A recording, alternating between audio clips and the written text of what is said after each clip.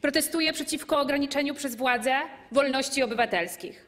Protestuję przeciwko łamaniu przez rządzących zasad demokracji, w szczególności przeciwko zniszczeniu Trybunału Konstytucyjnego i niszczeniu systemu niezależnych sądów. Protestuję przeciwko łamaniu przez władzę prawa, w szczególności Konstytucji RP. Protestuję przeciwko temu, aby ci, którzy są za to odpowiedzialni, podejmowali jakiekolwiek działania w kierunku zmiany w obecnej Konstytucji. Najpierw niech przestrzegają tej, która obecnie obowiązuje. Protestuję przeciwko takiemu sprawowaniu władzy, że osoby na najwyższych stanowiskach w państwie realizują polecenia wydawane przez bliżej nieokreślone centrum decyzyjne związane z prezesem PiS, nie ponoszące za swoje decyzje odpowiedzialności.